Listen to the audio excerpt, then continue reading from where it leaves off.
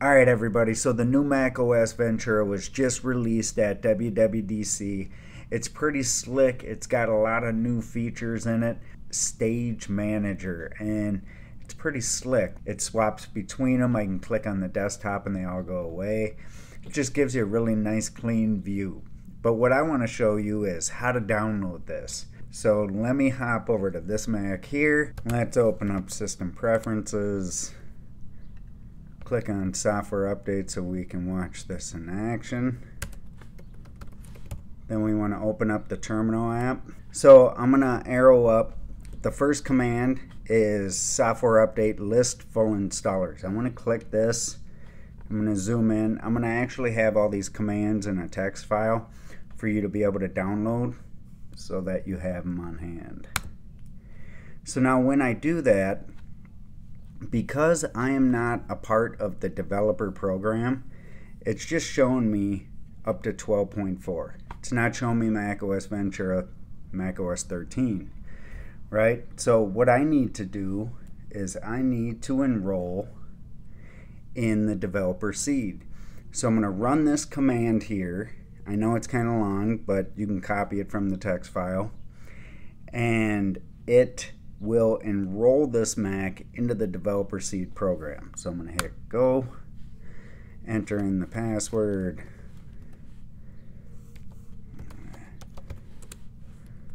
So now that was successful. If I come back here, give this a second, the software update pane, we're going to see this switch over. And as you can see now, all I have to do is click upgrade now and I can download that macOS installer. Let me just show you list full installers. You're going to see that now you at the top you see the beta version shows up. So now I can actually use the fetch full installer to download it or this upgrade now button. It'll basically go download it to your applications folder. Now we're going to take that installer and we're going to install it on another partition on this Mac. So one second, I'm just going to click go.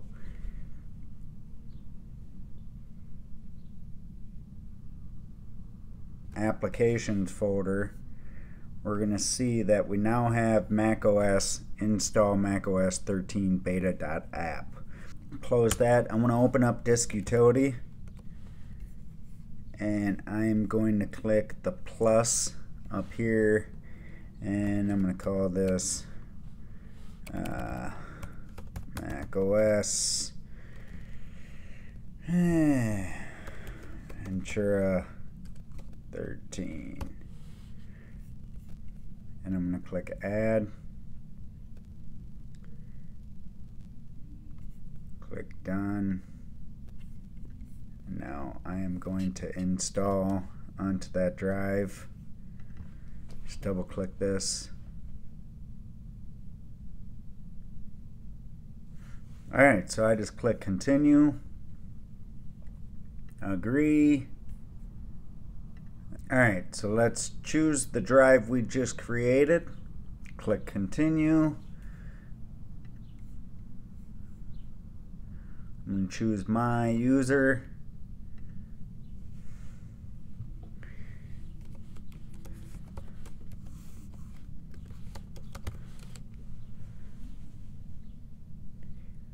Now that we got it started, in a few minutes it's going to reboot and finish the installation, which I'm not going to record the screen on. I'm just going to show you what you need to do to set yourself back to your old drive. So we're going to come to the system settings that's in Ventura now, and we're going to search for startup, and we're going to choose startup disk, and we're going to see that I have two Mac OSs I am going to choose the one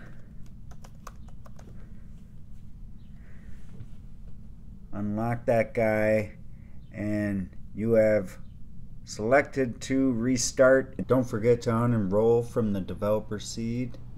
Two different ways to do it. One is from the terminal and the other is from the software update pane by clicking details restore defaults